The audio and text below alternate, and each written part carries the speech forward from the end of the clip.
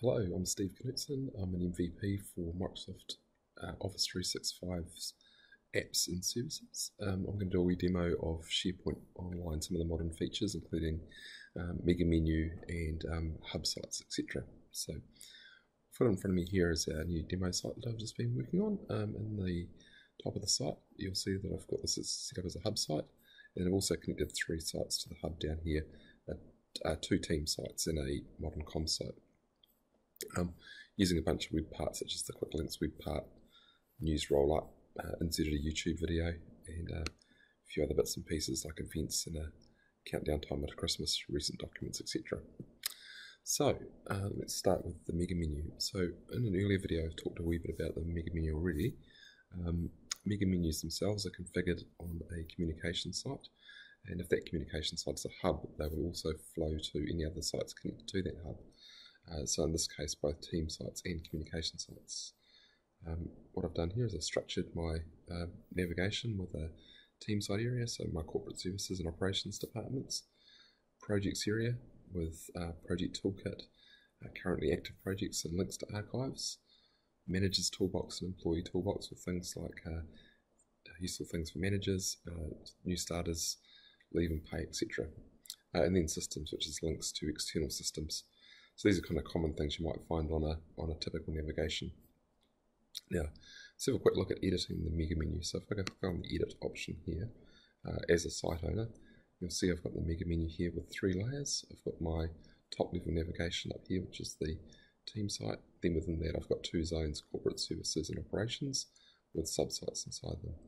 I'll click on one of these, edit the link. You'll notice that my links currently only go to Google, uh, but they could be actually to a SharePoint um, team site can also move these around. So, for example, if I wanted to put human resources ahead of information technology, I can do that uh, just by dragging it up.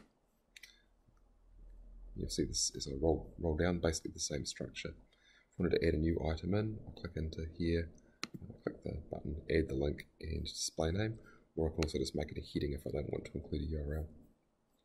Once I've done that, I can use I can use these buttons here to either uh, promote the sublink, which basically moves it up a level on the navigation, uh, or to um, move it down if it's already um, uh, and to make it another level down in the menu. And once I'm done, just hit save. So, a couple of quick little other things which I'm seeing now in modern SharePoint is my um, my search modern search. So if I typing it up here, it's a contextual search across my uh, hub and connected sites. I've also got um, done a couple of other things. So if I just click onto the cog here, you'll see one of them under change the look. I've taken the header area, area chosen the compact header. I've also set the background color on the header to be blue.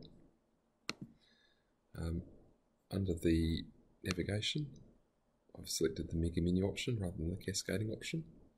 That gives me the mega menu functionality up here. Uh, and also, um, also actually one of the thing I've done in here is, uh, sorry, change the lock, is in the footer section down here, um, I've got the ability now to make the footer visible. So what that actually does is allows you to put links in the bottom of the page, um, uh, such as you know links to contact information, etc., or other things you might want to put in a page footer. Um, now, if I pop over to this site here, this is my uh, this is a sub-site connected to this uh, to this particular site. It's just a more extended team site. You'll see the navigation is also inherited to here.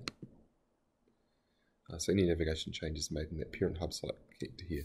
There is one shortcoming, which is that if you have multiple hub sites, you'll need to configure the, the navigation in each of the hubs, as it doesn't flow through to, there's no way currently to connect those hubs together. I'll just jump back to my parent site and um, a few other little things that little tricks I've done in here. So these are some of the web parts on the page. I've just uh, um, done this one here. It's just a quick links web part, and I've just used the uh, used the tiles layout with medium-sized tiles, and then added the icons in. I've also uh, used the site roll-up web part here. So this one basically says show all sites connected to this hub in a grid, and the standard news web part uh, here as well, which is in this case I've got the news running from my from just from my top site, although I could specify all sites connected to the hub or a communication site to roll content up if I wanted to provide, say, a site for corporate communications. And that's about it for this demo. Hope you've enjoyed it. I hope you've enjoyed this video on Modern SharePoint. I'm Steve Knutson, Microsoft MVP for Office Apps and Services. Uh, you can learn more at my blog, 100watt.wordpress.com, or you can follow me on Twitter at nztechtweet. Thank you.